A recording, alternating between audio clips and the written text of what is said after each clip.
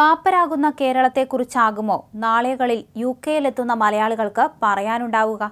കഴിഞ്ഞ ഏതാനും മാസമായി കേരളത്തിൽ ഡ്രൈവിംഗ് ലൈസൻസുകൾ അച്ചടിക്കുന്നില്ല എന്ന വാർത്തകൾ വന്നത് ഇപ്പോൾ പ്രവാസ ലോകത്തേക്ക് ജോലി തേടിപ്പോകുന്ന മലയാളികളെയും ബാധിച്ചിരിക്കുകയാണ്.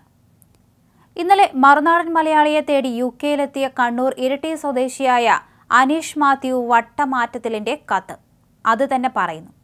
അനീഷ് പറയുന്നത് അടുത്ത മാസം യു കെയിലേക്ക് വരാനിരിക്കുകയാണ്. പക്ഷേ കേരളത്തിൽ നിന്നും ഇപ്പോൾ അച്ചടിച്ച ഡ്രൈവിംഗ് ലൈസൻസ് കിട്ടാൻ ഇല്ലാത്തതിനാൽ യു കെയിലെത്തുമ്പോൾ ലൈസൻസിന്റെ ഡിജിറ്റൽ കോപ്പി കാണിച്ച് വാഹനം ഓടിക്കുന്നതിന് നിയമ തടസ്സമുണ്ടോ എന്ന ചോദ്യമാണ്. ഇത്തരമൊരു സാഹചര്യം നേരത്തെ ആർക്കും നേരിടേണ്ടി വന്നിട്ടില്ലാത്തതിനാൽ കൃത്യമായ ഉത്തരം നൽകാൻ നിയമരംഗത്തുള്ളവർക്ക് സാധിക്കുന്നില്ല. മാത്രമല്ല ലോകത്തെ മറ്റെവിടെ നിന്നും യു കെയിലെത്തുന്നവർക്കും നേരിടാൻ സാധ്യതയില്ലാത്ത വിഷമഘട്ടമാണ് ഇപ്പോൾ കേരളത്തിൽ നിന്നും യു കെയിലെത്തുന്നവർ നേരിടേണ്ടി വരിക എന്നും അനീഷിന്റെ കത്ത് സൂചന നൽകുന്നു. അടുത്തിടെയായി കേരളത്തിൽ പണമില്ലാത്ത സാഹചര്യത്തിൽ ലക്ഷക്കണക്കിന് ഡ്രൈവിംഗ് ലൈസൻസുകൾ പ്രിന്റ് ചെയ്യാത്ത വാർത്തകൾ പതിവായി മാധ്യമങ്ങളിൽ എത്തിക്കൊണ്ടിരിക്കുകയാണ്. ഒടുവിൽ ഇപ്പോൾ വിഷയം ഹൈക്കോടതിയുടെ ശ്രദ്ധയിലും എത്തിയിരിക്കുന്നു. സാധാരണക്കാരുടെ അടിസ്ഥാന ആവശ്യ പട്ടികയിൽപ്പെട്ടതും പല ജോലികൾക്കും അത്യാവശ്യമായ ഡ്രൈവിംഗ് ലൈസൻസ് നൽകാൻ പണമില്ല എന്ന സാഹചര്യം പോലും കേരളത്തിന് പുതുമയുള്ളതാണ്.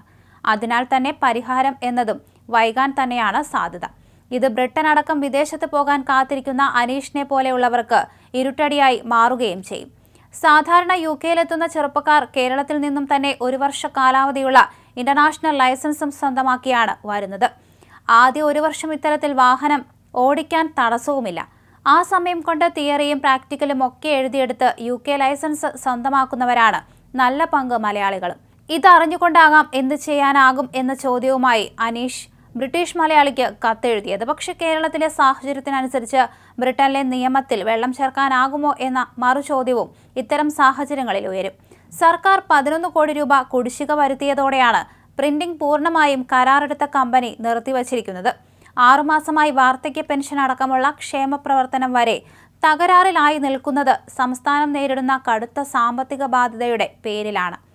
അതിനിടയിൽ സർക്കാർ നടത്തുന്ന മറ്റ് സേവനങ്ങൾ കൂടി മുന്നറിയിപ്പില്ലാത്ത വിധം മുടങ്ങുകയാണ് എന്ന സൂചനയാണ് ഇപ്പോൾ ഡ്രൈവിംഗ് ലൈസൻസ് നൽകാൻ പോലും പറ്റാത്ത സാഹചര്യം ചൂണ്ടിക്കാണിക്കുന്നത്.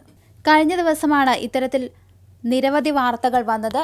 ഡ്രൈവിംഗ് ലൈസൻസും ആർ സി ബുക്കും കിട്ടാത്ത ഒരു സാഹചര്യമാണ്. അതായത് നാല് മാസത്തോളമായി ഇതിങ്ങനെ തുടർച്ചയായി വന്നുകൊണ്ടിരിക്കുകയാണ്. നിയമസഭയിലും ഈ ഒരു വിഷയം എടുത്തിട്ടിരുന്നു മന്ത്രി ഗണേഷ് കുമാറും അതുപോലെ തന്നെ ബഷീറും. ഇത് ഉടനടി പരിഹരിക്കാം എന്ന് തന്നെയായിരുന്നു മുഖ്യമന്ത്രി പിണറായി വിജയൻ അറിയിച്ചത്. എന്നാലും ഇപ്പോഴും ഇത് സാവധാനം മെല്ലെ പോക്കാണ് തുടരുന്നത്.